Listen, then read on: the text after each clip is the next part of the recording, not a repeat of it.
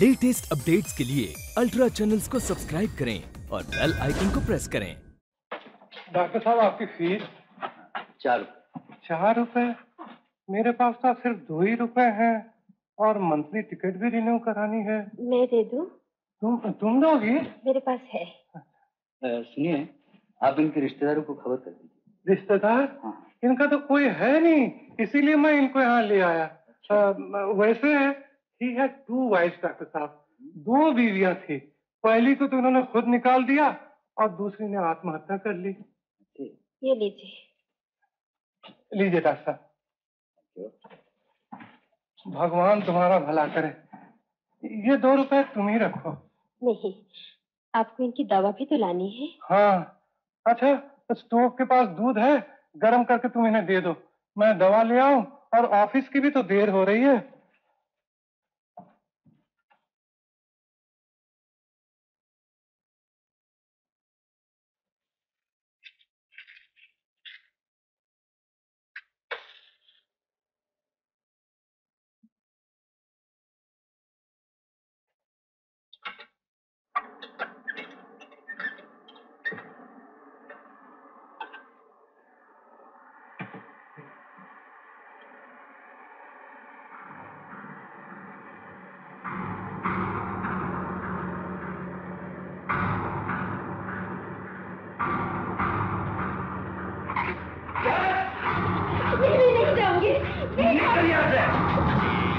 नहीं जाऊँगी।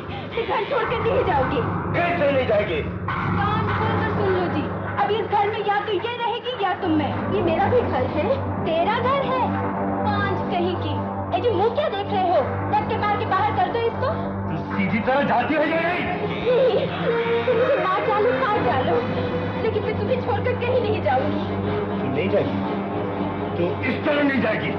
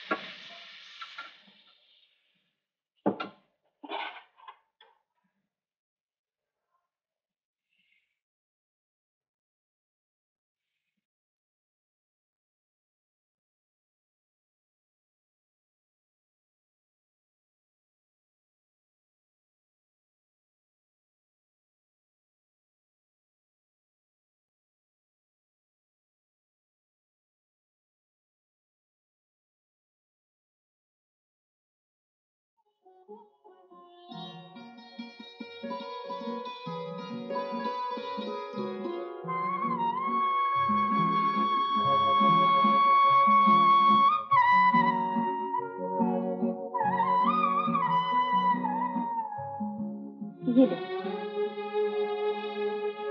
समोसे? हाँ देवर जी लाए थे। तुम्हें बहुत पसंद है ना? बहुत। बीवी जी?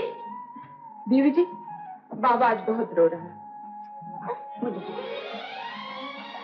अरे इसका बदन तो गर्म है। बुखार मालूम होता है। अरे हाँ घबराओ मत। मैं भी डॉक्टर को लेके आता हूँ हम्म? बस घबराने की कोई बात नहीं। मामूली बुखार है। दो दिन की दवाई लिख देता हूँ। सब ठीक हो जाएगा। आपका हाथ लगे और ठीक ना हो? आपको शायद याद नहीं डॉक्टर साहब। इसके बाप को भी एक दिन आप ही ने अच्छा किया था। जब इस बच्चे का बाप यानी मैं आठ बरस का था। क्या नाम है तुम्हारा? जी नंद किशोर शर्मा। नंदू। याद आया? नंदू? ओ हाँ हाँ हाँ। अब याद आया। अरे वाह इतने वर्षों के बाद। पटना में सर्विस करता था। अभी हाल ही में कैलकाटा में बदली हुई है। अच्छा तो यहाँ क्या करते हो? कॉरपोरेशन में इंजीनियर हूँ। इंजीनियर गुड गुड लो ये दवा मंगवा लेना। चिंता करने की कोई बात नहीं। फिर भी ज़रूरत पड़े तो मुझे बुलवा लेना। जी। अच्छा बेटा आ, महाराज महाराज! क्या है रामू? वो अपने सात नंबर वाले बाबूजी थे नहीं वो परलोक सुधार गए। राम रतन जी? सर्वनाश सर्वनाश।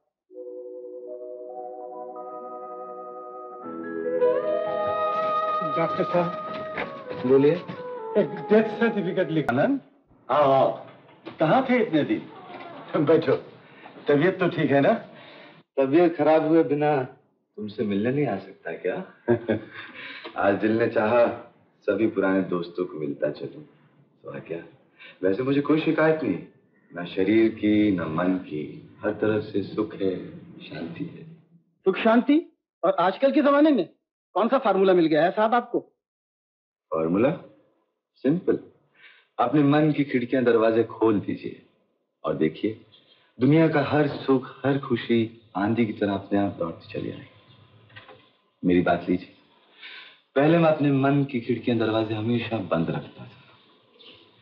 लड़कियों के यहाँ जाता था, खूब शराब पीता था।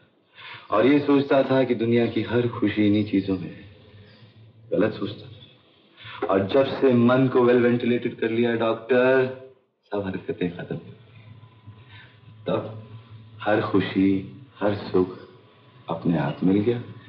इम्पॉसिबल तुम शराब कैसे छोड़ सकते हो? बस छोड़ दे डॉक्टर वाइन विमेन यहाँ तक कि अपनी पत्नी को भी।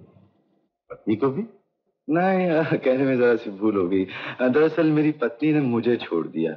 बड़ी कठिन समस्या थी बेचारी के लिए। एक तरफ़ पति दूसरी तरफ़ पार्टी। पार्टी? कौन सी party?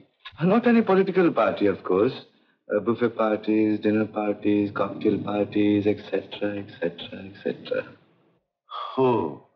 बस छोड़ो। तुम अपना सुनाओ। क्या हाल है तुम्हारे? मैं तो मज़े में हूँ। लेकिन आनंद तुम ऐसे बदल जाओगे कभी सोचा भी नहीं था। एकदम से इतना बड़ा चेंज होता है डॉक्टर होता है। ज़िंदगी का कोई भी रास्ता एकदम सीधा तो नहीं होता डॉक्टर कहीं ना कहीं मोड़ तो ज़रूर आता है। You know Pushpa? Pushpa? Pushpa को भूल गए? कैसे भूल गए?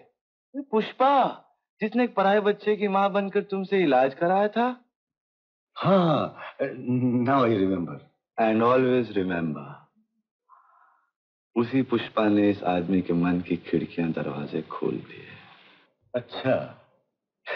मज़े की बात यह है वो जो लड़का था ना नंदू अब वो यहाँ के कॉरपोरेशन में इंजीनियर है और इसी मोहल्ले में रहता है। अच्छा? अभी तो बहुत बड़ा हो गया होगा।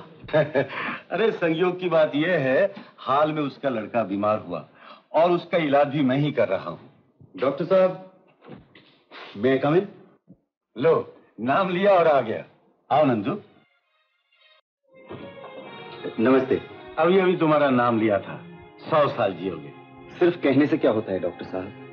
सौ साल जीने के लिए आशीर्वाद देने वाला भी तो मिलना चाहिए। क्यों नहीं मिलेगा? मैं तुम्हें आशीर्वाद देता हूँ। ईश्वर करे तुम सौ साल नहीं हज़ार साल जियो। आप पहचाना नहीं जब तुम छोटे से थे पुष्पा के घर आया करते थे मैं तुम्हारे लिए समोसे मिठाइयाँ कचौड़ियाँ लेकर आया करता था। आया आप?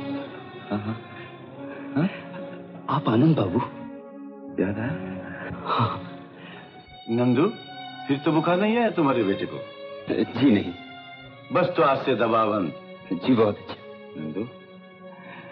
तूने जो रात की रानी का पेड़ लगाया था वो अभी तक है? जी हाँ। उसके सामने वाले मकान में मैंने फ्लैट लिया है। अच्छा? फूल खिलते? बहुत। मैं उसे देखना चाहता हूँ। दिखाएगा? चलिए ना। अच्छा डॉक्टर। आनंद बाबू। आपको मालूम है वो कहाँ है? वो? कौन पुष्पा? देखने को जी करता है। बहुत। मिलना चाहते हो? जी। चलो तुम भी देख लो। अच्छा डॉक्टर चलते हैं।